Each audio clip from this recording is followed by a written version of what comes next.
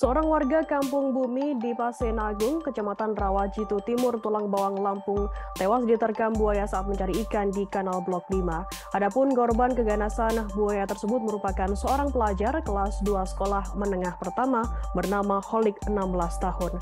Eko 40 tahun warga Kampung Bumi di Pasena setempat menuturkan kejadian tersebut terjadi pada Minggu 8 Januari 2023 sekira pukul 12 lebih 30 menit waktu Indonesia Barat. Saat itu korban bersama ayahnya berikut lima orang lainnya pergi mencari ikan dengan memasang perangkap waring di kanal besar Blok 5. Selengkapnya akan disampaikan oleh rekan jurnalis kami dari Tribun Lampung ada Chandra Wijaya yang akan melaporkannya. Silakan rekan Chandra. Baik, uh, terima kasih rekan Firda. Satu warga Kampung Bumi Depesana Agung, Kecamatan Rawajitu Timur, Tulung Bawang Lampung, tewas diterkam buaya saat mencari ikan di kanal blok 5. Adapun korban keganasan buaya tersebut merupakan seorang pelajar kelas 2 sekolah menengah pertama SMP bernama Holik berumur 16 tahun.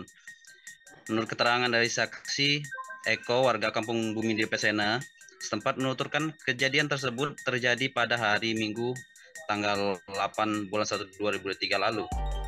Kejadian terjadi sekitar pukul 12.30 siang. Saat itu, korban bersama ayahnya berikut lima orangnya pergi mencari ikan dengan perangkap waring di kanal besar Blok 5, tempat lokasi kejadian terjadi. Setibanya di lokasi kejadian, seekor buaya menyambar dan membawa ke dasar kanal korban tersebut. Adanya kejadian itu, seluruh warga dibantu anggota Satpolairut Polres Bawang serta Polsek setempat melakukan pengejaran dan pencarian pada korban. Bahkan puluhan speedboat dikerahkan guna melacak keberadaan korban saat itu. Menurut warga sekitar, pasca kejadian terjadi, beberapa orang sempat melihat buaya tersebut membawa korban muncul ke permukaan. Namun hal tersebut tidak berlangsung lama karena hingga buaya tersebut kembali menenggelamkan dan membawa korban ke dasar kanal kembali.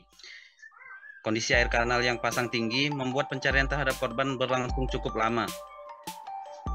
Namun setelah dilakukan pencarian selama 10 jam, tepatnya jam pukul 10 malam, korban berhasil ditemukan dalam keadaan telah meninggal dunia.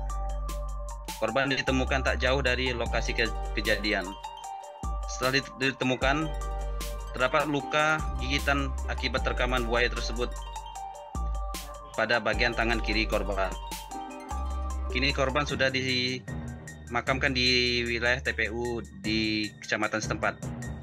Baik, rekan Perda.